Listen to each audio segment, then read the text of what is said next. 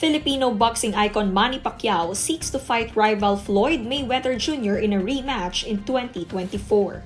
During the Rizin 45 mixed martial arts event in Saitama, Japan, the former 8th Division World Champion was asked by Rizin Chief Executive Nobuyuki Sakakibara if he could fight Mayweather this year. Pacquiao answered, I am ready. The 45 year old retired professional boxer then addressed the crowd, saying he hopes to see them in Japan again for a big fight against Mayweather. Both Pacquiao and Rizin didn't disclose the full details of the possible rematch, as Mayweather's camp has yet to respond to the announcement. Pacquiao and Mayweather's last fight was held in May 2015.